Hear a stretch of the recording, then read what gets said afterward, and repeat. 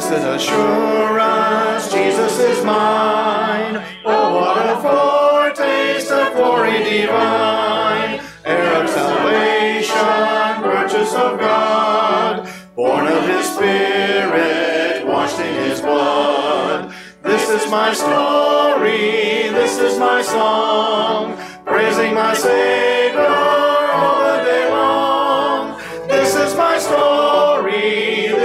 my song, praising my Savior all the day long. Perfect submission, perfect delight, visions of rapture now burst on my sight. Angels descending, bring from above, echoes of mercy, whispers of love. This is my story, this is my song, praising my Savior all the day long. This is my story, this is my song, praising my Savior all the day long. Perfect submission, all is at rest. I in my Savior am happy and blessed, watching and waiting, looking above, filled with His goodness, in His love. This is my story, this is my song, praising my Savior all the day long. This is my story, this is my song, praising my Savior all the day long. Amen. You may be seated.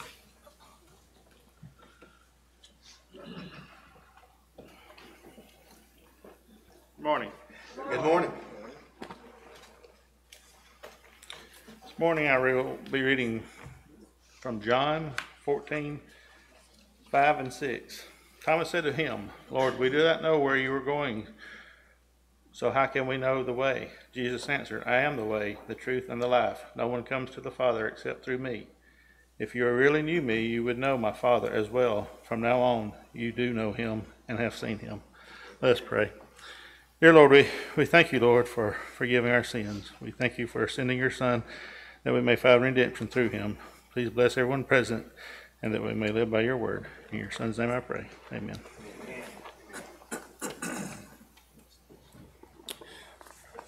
All right, hymn 329. Let's stand together. Grace greater than our sin. Marvelous grace of our loving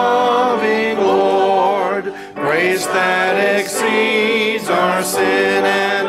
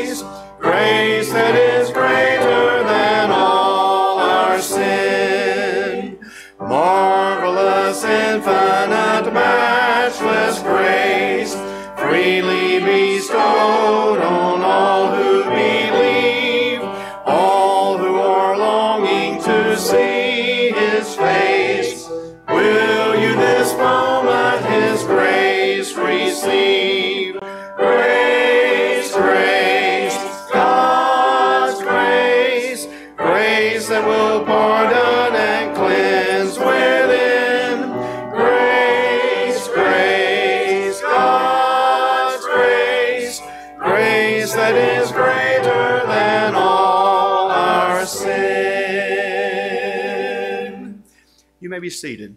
You know, that hymn, you look down on the bottom and you see words by Julia Johnston and music by Daniel Towner. The words, Julia Johnston. You know, Julia was from Alabama. You know how you can tell? Look at the lyrics of that one. What's the first word that gives it away? Yonder. Okay. And then what's the other one? Crimson Tide. Roll Tide. Roll Tide. I can't even sing it. Okay, so before you start, hold on. So the layout of this one, just follow my lead. We'll figure it out as we go through. All right, ready, Mary?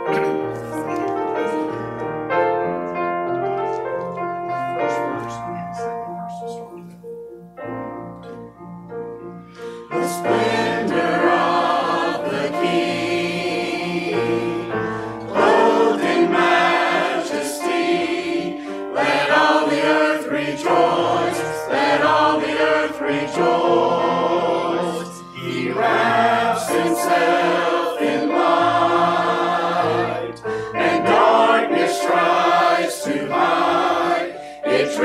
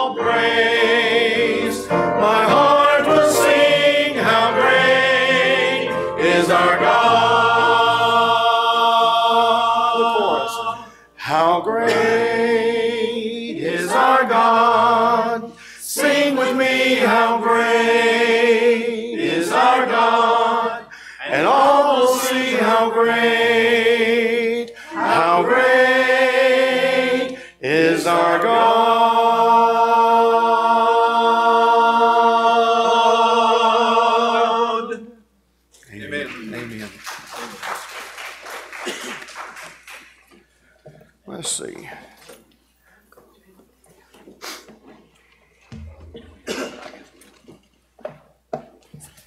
We're going down. Yeah, yeah, y'all come on down. Yeah, okay, now I'm just trying to get my act together this morning. All right, so children, come on.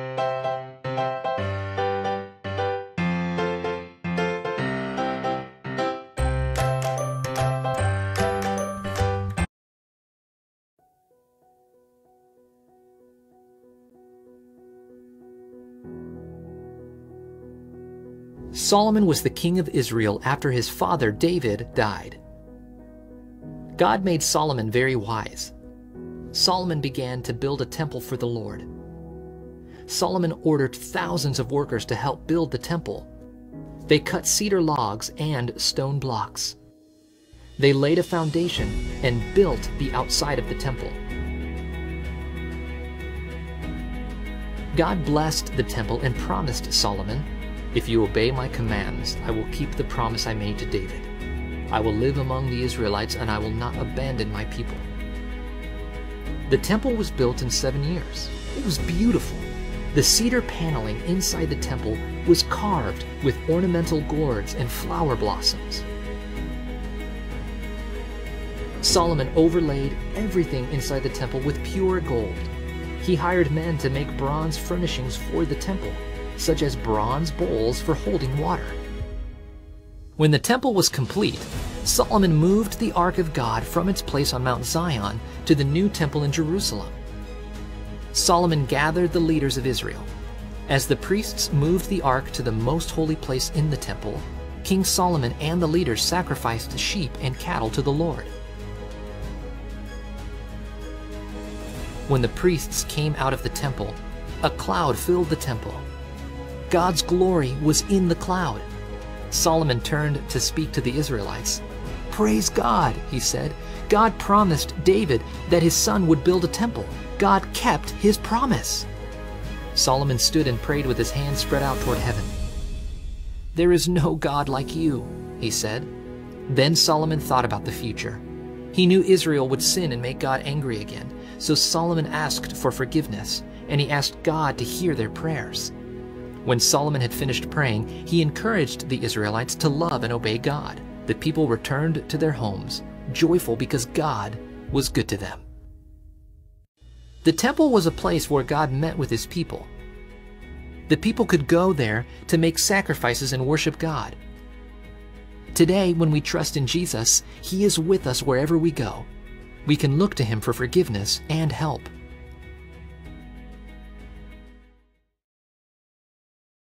Morning.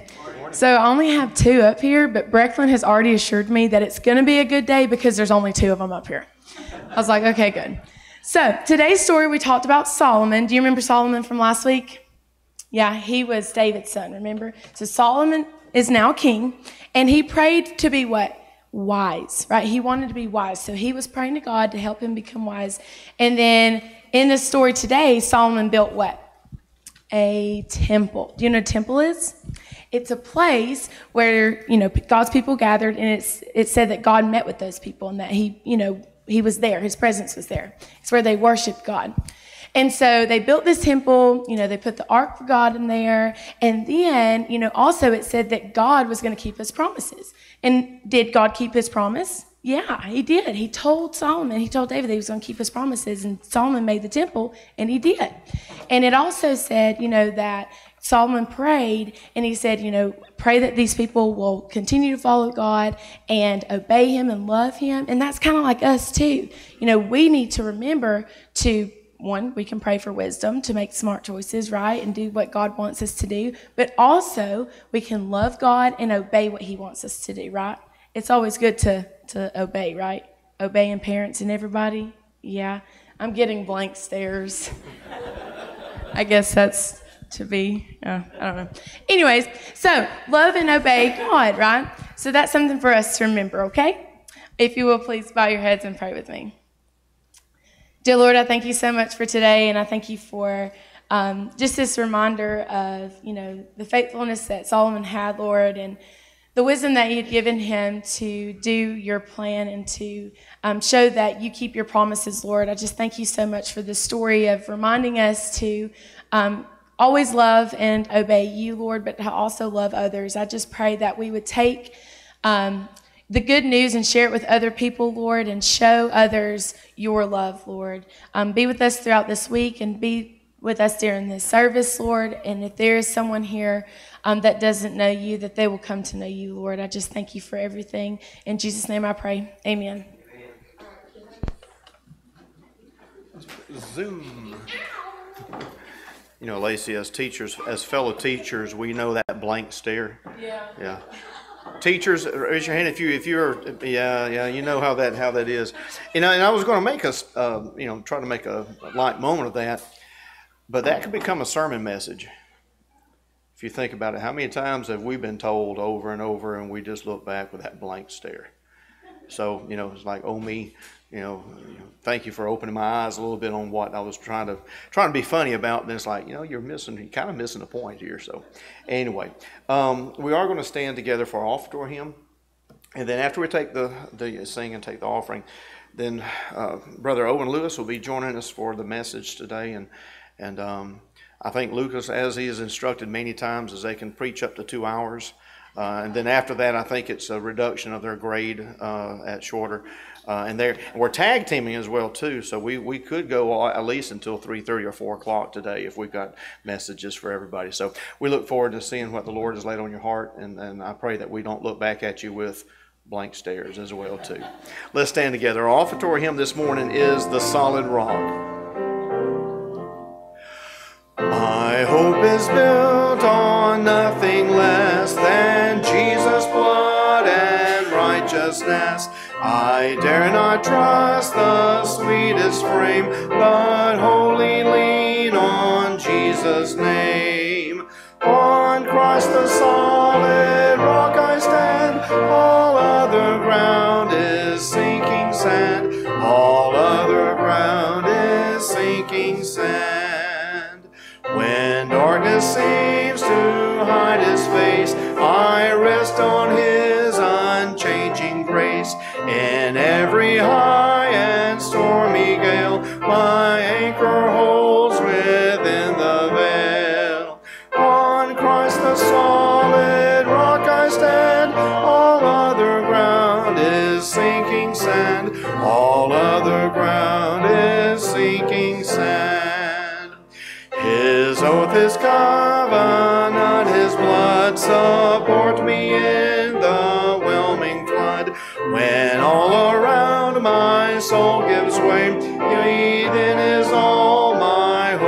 Stay. On Christ the solid rock I stand, all other ground is sinking sand, all other ground is sinking sand. When he shall come with trumpet sound, oh may I then in him be found, dressed in his righteousness alone,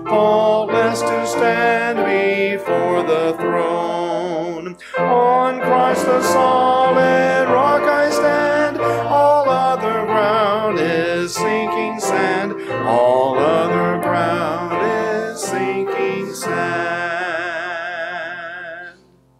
Let's pray. Oh, Lord, we thank you for another day, Lord, another chance to come to your house and worship, Lord, and just hear a message, Lord, and hear your word.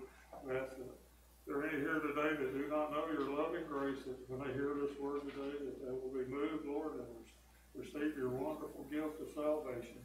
We ask a blessing on all that need you, Lord, and all in the world that need, need your help, Lord. Ask you to bless this offering, Lord, the gift and the giver. In thy name we pray. Amen. Thank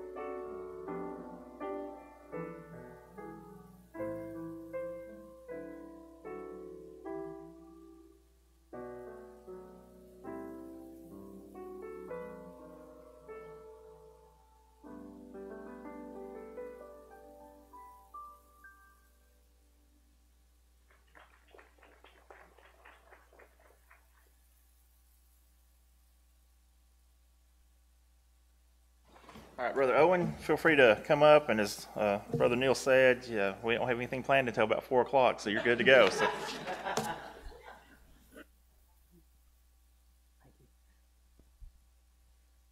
Good morning. It is uh, such an honor to be back. I don't know if y'all remember, but about a year and a half ago, I was here. Uh, so I got to speak. Dr. Butler asked me to speak here, and I was probably a little bit shorter.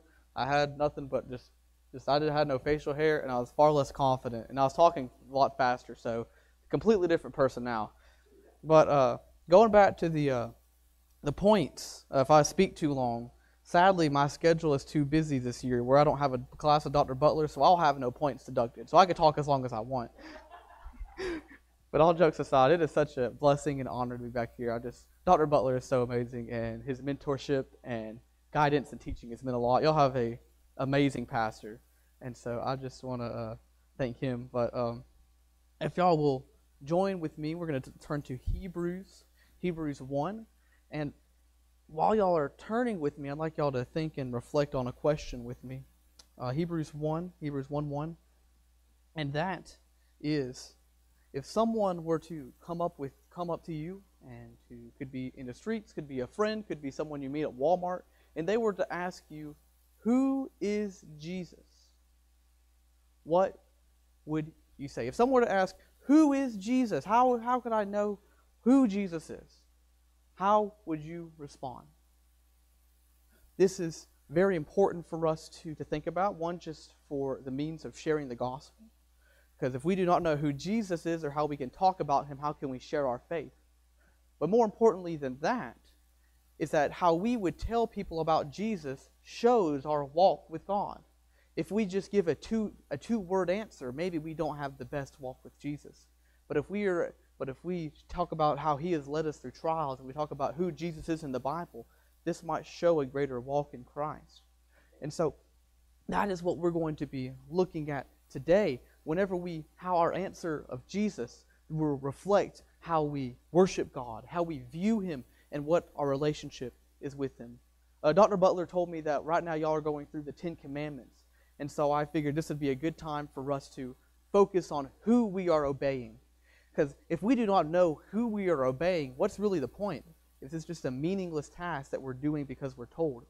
But if we know why we, who and why we're serving Jesus, the Ten Commandments and all of God's commandments become more than just obeying a command. It becomes an act of love.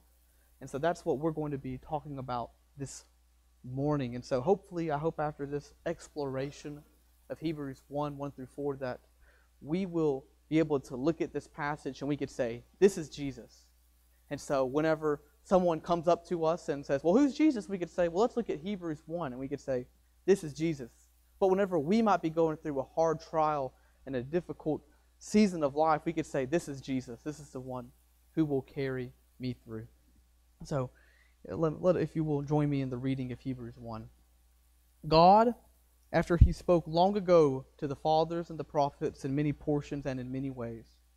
In these last days have spoken to us in his Son, whom he appointed heir of all things, through whom he made the world.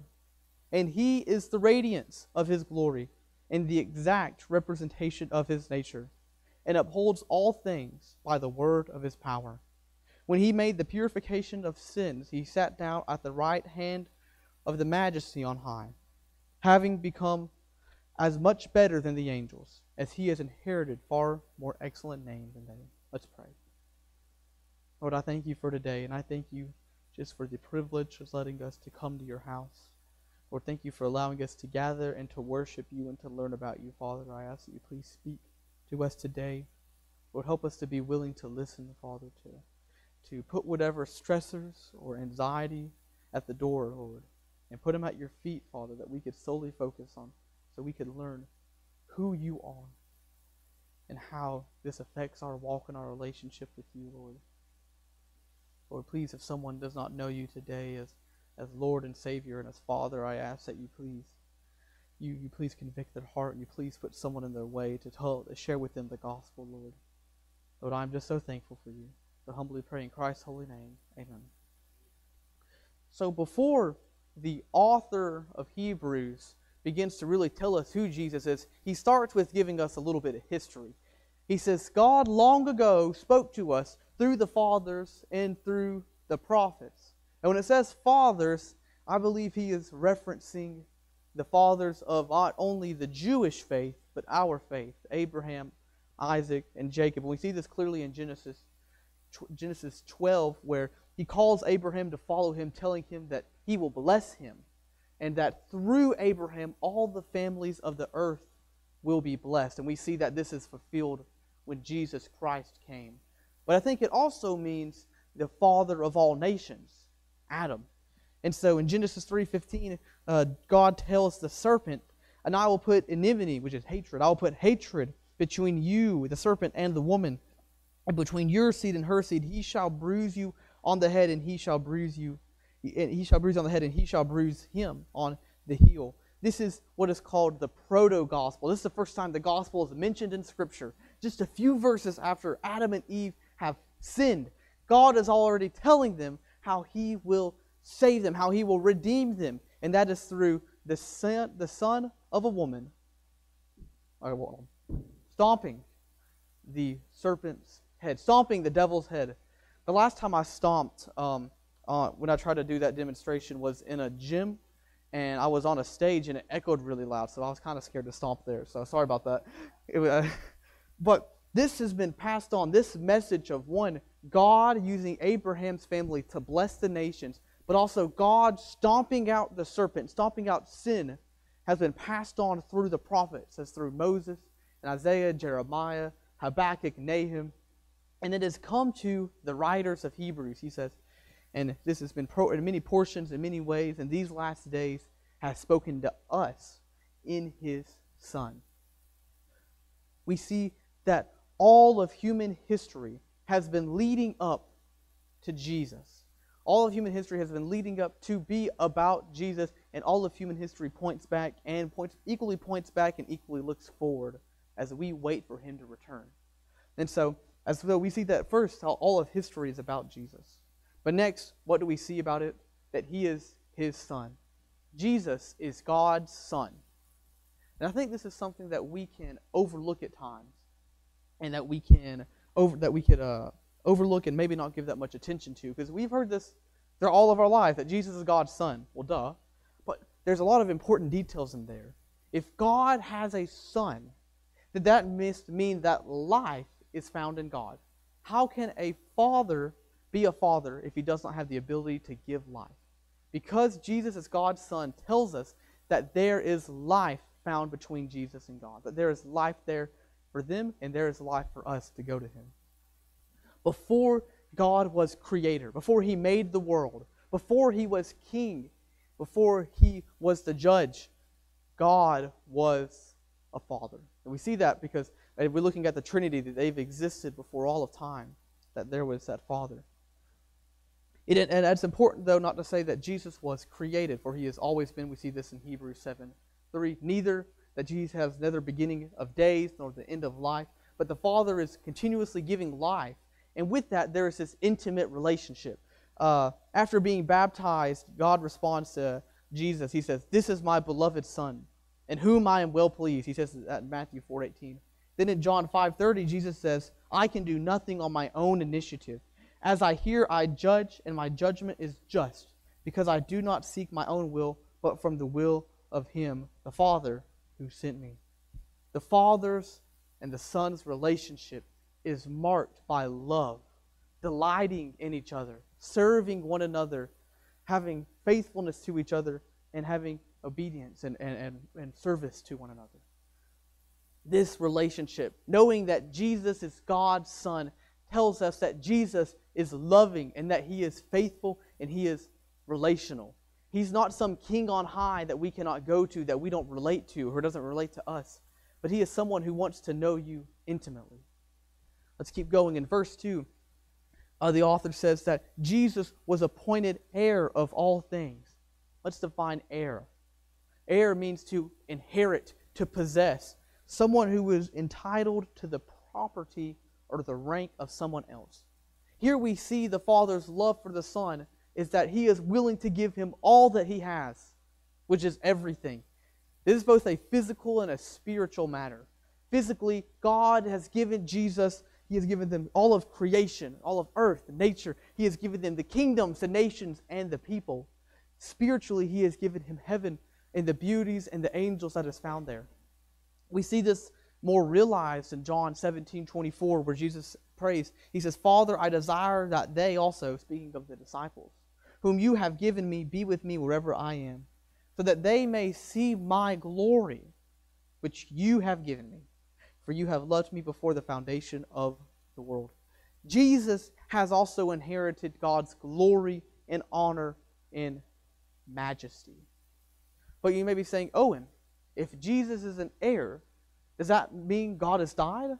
Because in our society, normally, if someone is an heir, they receive their inheritance after someone has passed away. I think it's a reasonable question. But while talking to Nicodemus in John 30, 35, Jesus says, The Father loves the Son and has given him all things into his hand. Jesus has always had all things. He is he, from the moment he's been appointed from all from eternity past, he has had all things before the foundation of the world.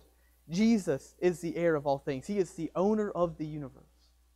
Verse 2 continues that he says that he that he uh that he is through him all things were made. Who through him the world was made. Jesus is the agent of creation. And when I say agent, I don't mean James Bond or some secret agent. But instead I mean a means at which something was accomplished. That this that Jesus through Jesus, the agent of creation, everything was made. Uh, Colossians 1:16 says that for him, for by him all things were created, both in the heavens and on earth, visible and invisible, whether thrones or dominions or rulers or authorities, all things have been created through him and for him. And we even see this in Genesis. In Genesis 1 3, it says, Then God said. Well, what does John tell us? John tells us in the beginning was the Word, and the Word was with God, and the Word was God. We see Jesus in the third verse of Genesis, that we see that God speaking and that saying, Let there be light, and Jesus creating with the light being made. Jesus does not do what the Father says because he is his subject or because he is obligated to, but Jesus obeys God because of his love for him. It is relational. It is because that God love because Jesus loves God that Jesus has made the world through God commanding him. Jesus is the agent of creation, the creator of the cosmos. I love, I, am getting excited. I love verse 3. This is when it starts getting better. And it says here that he is the radiance of his glory and the exact representation of his nature. Radiance is a word that we don't use a lot, and we might think it, mean, it might be kind of similar to radiation. But radiance means the rays or the reflecting beams of light that are that are they're vividly bright and they are vividly shining. Let's imagine the sun, S U N, not S O N, and how it gives off light. We know that wherever the light follows, where the sun follows wherever the light moves. We're not going to have this big light in the middle of town whenever the sun is down. The, the light follows where the sun moves. And wherever that light hits, it changes things. Whenever the light hits a car, it is heated up and it's unbearable to get into.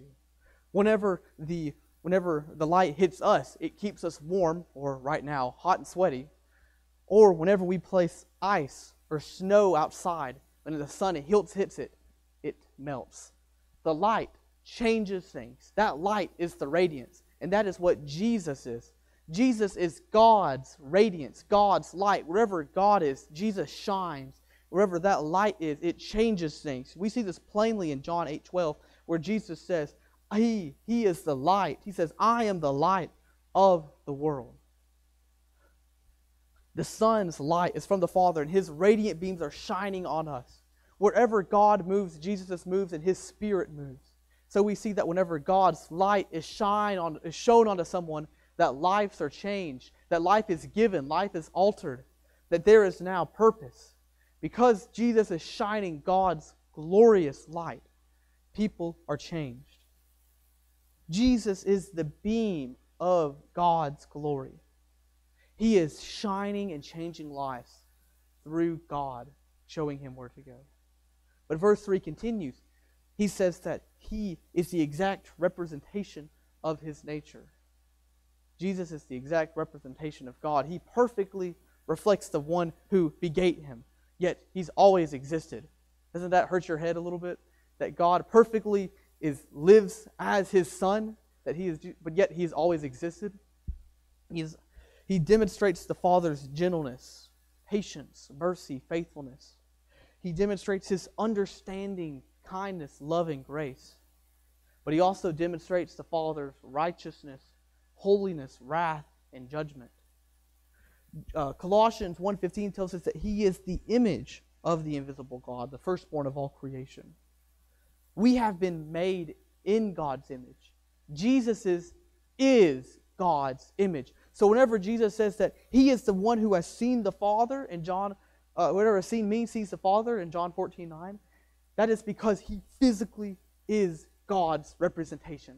We are to represent him, but that's because we are to we are like him. We are made in his image. But Jesus physically is it. He is the exact representation, betraying, perfectly betraying his father's traits. And verse 3 says that he continues that he, Jesus, upholds all things by the word of his power. He upholds all things by the words of his power. Um, I've often heard God compared to as a watchmaker. Um, that God, at the beginning of creation, made this nice, detailed, complex watch. And whenever he was done with creation, he wound it, wound it up, and he started the watch, and he just put it down and he left it. That's not an accurate view of God because God did not just make this watch and he put it down, but he kept messing with it. He kept making sure the watch was in check. Jesus is actively involved with us. He is actively involved with his creation, upholding it. He tells us, we see this really great in Job 38. And forgive me, I didn't uh, mark this, so we, we might go on a bit of a journey. In Job, we get a really good idea of this at the end where Job was beginning to really question God he says this in Job 38. 38 12 he says this have you how, how you ever in your life commanded the morning and caused the dawn to know its place that it might take hold of the ends of the earth and that the wicked be shaken out of it it is changed like the clay under the seal and they stand forth like a garment for the wicked is in their light and withheld from the upbroken arm. We see that God is over the, the morning and the light and the wicked. And we see this more with the uh, verse 39. He says, Can you hunt the can you can you hunt the prey for the lion? Or satisfy the appetite of young lions? When they crouch in their dens and when they lie and wait in their lair, who prepares the raven for its nourishment? And when the young when it youngs cry to God and wonder about without food, God is the one who makes the sun come up. God is the one who, who has the trees grow, the one who takes care of the tides whenever, for the ocean. He's the one who's the Pharaoh, who feeds the sparrow, the one who beautifully wraps the lilies of the field. And He is the one that ensures that we are not crushed by gravity or that the earth is perfectly placed in our solar system. He is the upholder of the universe. He is actively doing this, for this is effortless for Him. This is just, just God effortlessly working. He, through Jesus, we are fed, clothed, and provided for. And that this is equally big and personal. On a, on a huge scale, we know that He provides for humanity. But on a personal scale, He makes things work that should not work.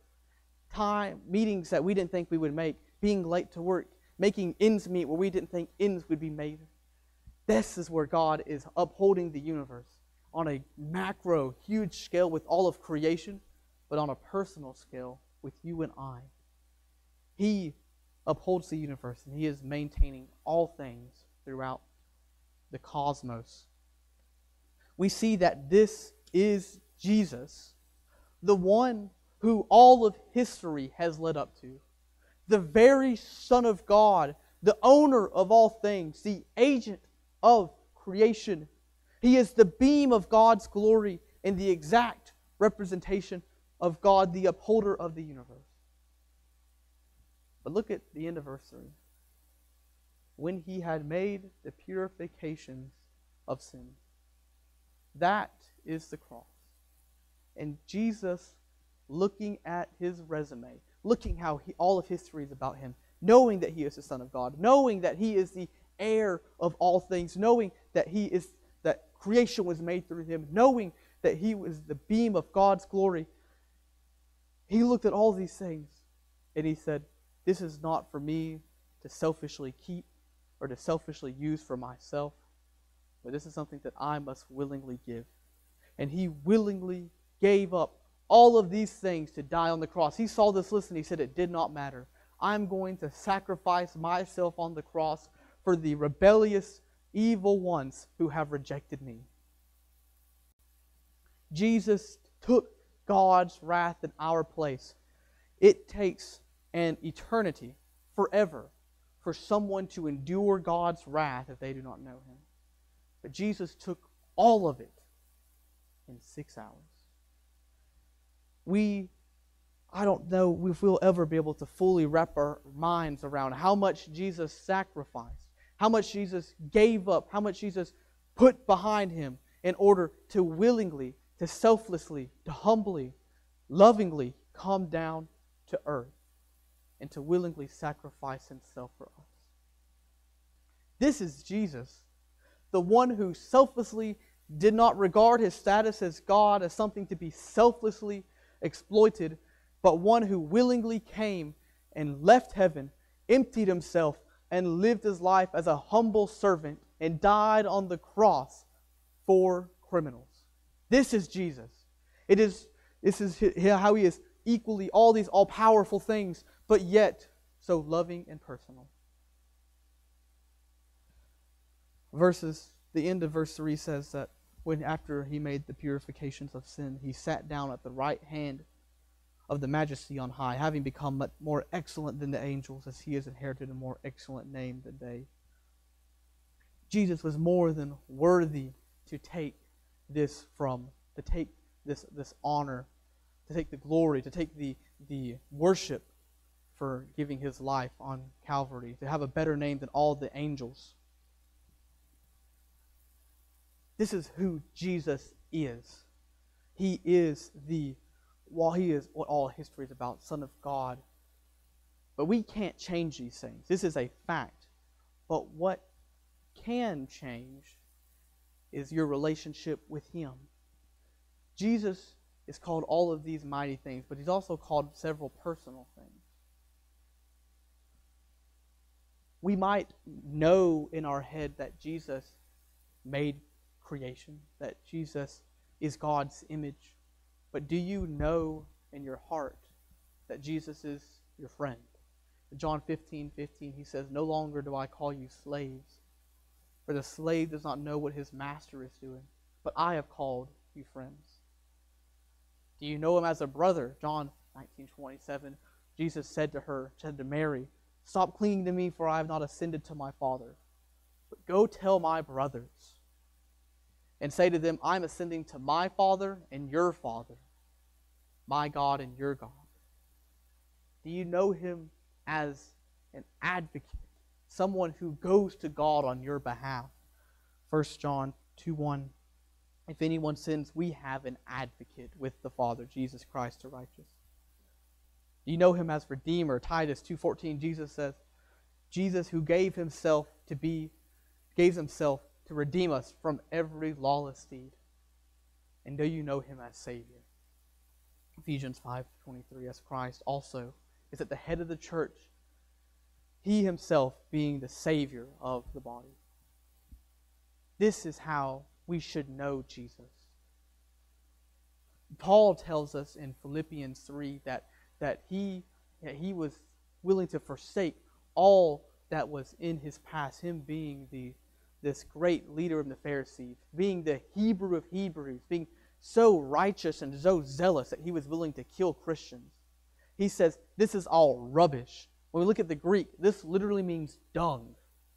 This is all rubbish in knowing the surpassing value of knowing God. That same word knowing there, when we look at the Greek version of the Old Testament is the same word as Adam knowing his wife in Genesis 3. That, sure, this is important for us to know all these physical things about Jesus, but it truly means nothing if we do not know him as friend, if we do not know him as brother, if we do not know him as advocate, redeemer, savior. Because if we do not know him as these things and we go up and say, Oh, you're Jesus, you're the Son of God, you're the owner of creation, we've done all these things for you, he will say, Depart from me. I never knew you. Do you have a relationship with Jesus this morning? Do you have a relationship with the one who has made all things? Do you know do you have a relationship with the upholder of the cosmos? This is what this is how we know who Jesus is. If he is our friend, our brother, advocate, redeemer, savior, and because of that our life has changed.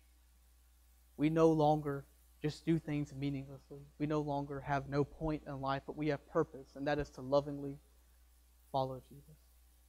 And so, I leave you with that this morning to reflect on. If this is how you know Jesus, because if not, you can come talk to me. I'm sure all the deacons would love to talk to you about what it means to be saved and how to do so. But at its core, knowing Jesus is not just a head knowledge. It is not just intellectually knowing our Bible verses, but it's about having an intimate relationship. I'll leave you on this. Do you come to church? Is your relationship with Jesus fast food? Do you come to church and get your happy meal?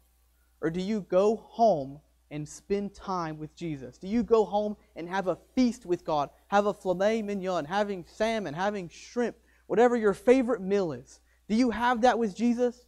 Or do you just come to church on Sunday to get your happy meal? Let's pray. Lord, I thank you for today.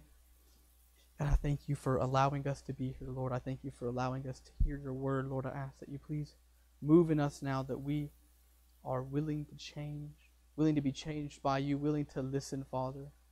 So, Lord, please just move within us now that we will do your will, Lord, and that we will have a relationship with you, Father, and have a better walk with you.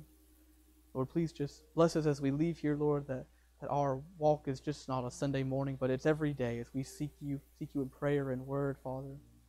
Lord, please help us to share our faith with others. Help use us, Lord, for the upbuilding of your kingdom, Lord. Lord, we thank you and we love you. We humbly pray in Christ's holy name. Amen.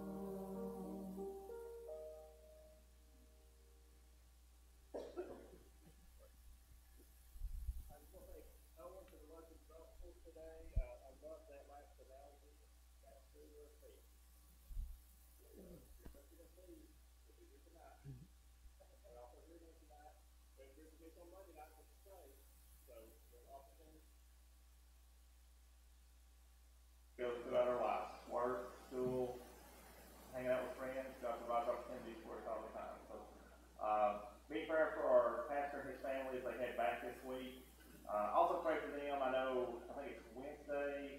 Uh, they're dropping Caleb off at school, so that's going to be an adjustment uh, for them and their families, so keep them in their prayers. Um, also, look around today. We've got some people that aren't here. Uh, maybe they're at work, maybe they're traveling, maybe they're going through things we don't know.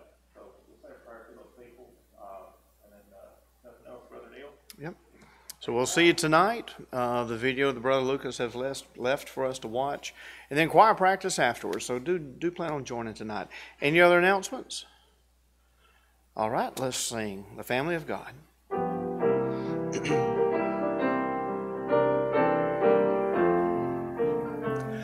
I'm so glad I'm a part of the family of God. I've been washed in the fountain, cleansed by his blood. Joint heirs with Jesus as we travel this sod. For I'm part of the family, the family of God.